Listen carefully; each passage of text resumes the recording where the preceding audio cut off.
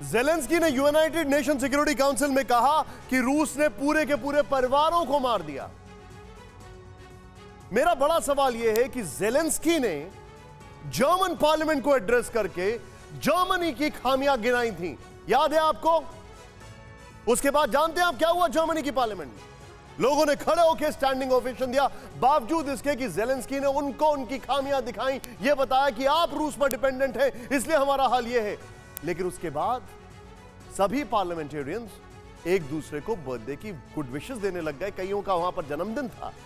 भूल गए जेलेंस्की को। यूएन में जेलेंस्की जो बोल रहे कौन याद रखेगा? बड़ा सवाल तो यह है। अब आपको उस रूसी कमांडर का नाम और तस्वीर दिखाते हैं, जिस पर बूचा में नरसंहार करने का इल्ज़ाम लगा है।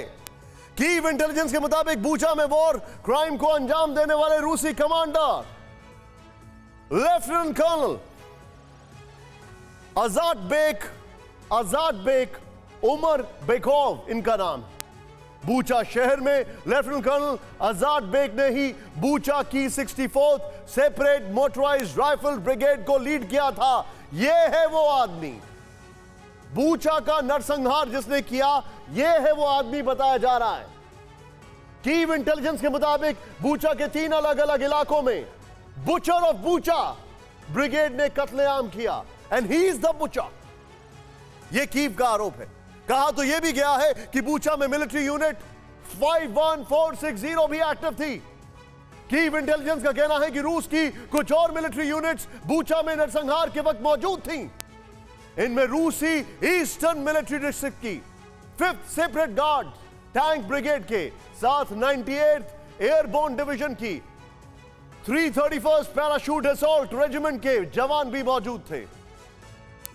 हालाँकि अब तक सिर्फ़ यह व्यक्ति जो है, ओबर बेकॉफ का नाम सामने आया। कीव इंटेलिजेंस के मुताबिक धीरे धीरे सभी हथियारों के नाम का खुलासा हुआ।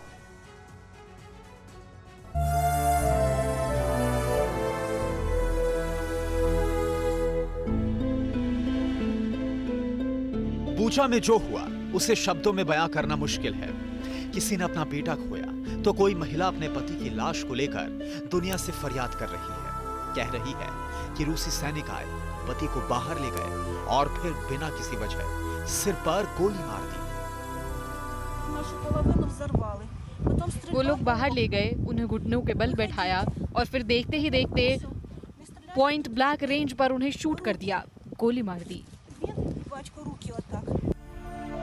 इसी तरह के दावे कई और लोगों के भी हैं। कुछ महिलाओं का कहना है कि रूस ने बच्चों तक को नहीं बख्शा। जो लोग शहर छोड़कर भाग रहे थे, उनकी कारों तक को कुचल दिया गया। हैवानियत का नंगा नाच हुआ। वो लोग हमारे घरों में घुसे, हमारे फ़ोन ले लिए। हमने सब कुछ छिपा दिया, वो मेरे भाई को बाहर ले गए। थोड़ी देर बाद वो वापस आया तो उसके शरीर से खून बह रहा था। उसे बुरी तरह मारा गया था।